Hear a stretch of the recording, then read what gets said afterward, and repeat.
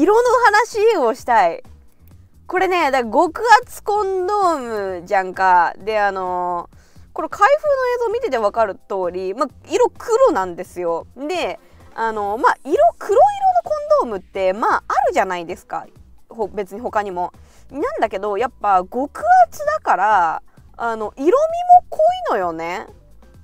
そう。ってなるとなんだろう。例えば色白の方とかがこれをはめた場合になんかちょっと違和感が仕事すんのかなっていうのはそれはねちょっと思ったかな。うん。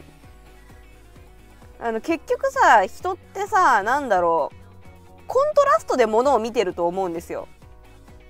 その実際何かが装着されているとかっていうよりもコントラストであのこっちの方が色が濃いとかその体の中で一部すごい強調されているとコントラストが違うと目立つみたいな。だからまあ例えばコントラストで言うと例えば色白の方がこれをつけた場合にそのご子息のところにこのすごい強強っていうのが来るんでなんかちょちょっと急急にドギマギするかなっていう。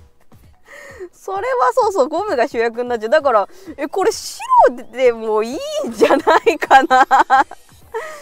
でも思ったんですけどね別にその機能面なんかそのあとそのなんだろう。別にさゴムをさそのお互いに一緒に見ながらつけない人もいいんじゃん。その人によってあじゃあゴムつけるねパパパみたいなさ。だからその言わなければさこの別になんだろう極厚つけてるよってわざわざ言わなくてもいい瞬間って多分あるはずなんだけど多分ここまでここまで色味が強いとなんかさすがにこうパッてつけた時に「な何つけてんの?」っていう会話が生まれる。でもまあ会話が生まれるっていう意味ではいいのかもしれない。なんかその自分がちょっと早めにいつも終わっちゃうから申し訳ないなって思っちゃってあの自分はこれを買ってきてつけたんだよねっていうそこでそれをきっかけで話すことができればいやいや何をおっしゃるうさぎさん、うん、別に私は気にしてないよみたいな。何の歌これ？れ何のだ。わかんないけど。なんかそうそういう会話をできることによってその早漏の思い込みというか早漏の呪いから脱却できるっていう可能性はある。あーなるほど。そういう制作意図もあるのかもよ。そういう制作意図もあるかもな。